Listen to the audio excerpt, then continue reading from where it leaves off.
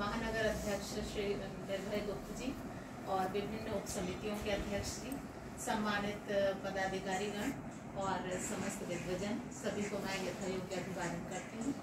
और सबसे पहले मैं नव संवत्सर चैत्र शुक्ल प्रतिपदा विक्रम संवत 2080 की सबको शुभकामनाएँ देती हूँ, बधाई देती हूँ। शुभम भवतु नववर्षम। और इसके साथ ही आज सुखद संयोग है कि हम राम नवमी नवमी और हनुमान जन्मोत्सव मना रहे हैं।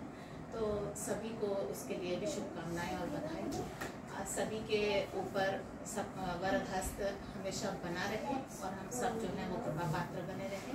सबको बहुत बहुत बधाई और मेरी तरफ़ से हम जितने भी मतलब मैं कहना चाहती हूँ कि मैं कविता लेखन मेरा क्षेत्र नहीं है। श्रोता हम बहुत अच्छे हैं। कविता की समीक्षा हम करते हैं ये मेरा क्षेत्र है। तो कभी ऐसा मौका मिला तो आप लोगों के लिखी पुस्तकों की समीक्षा करना मैं सौभाग्य समझ समझूँगी अपना। बहुत बहुत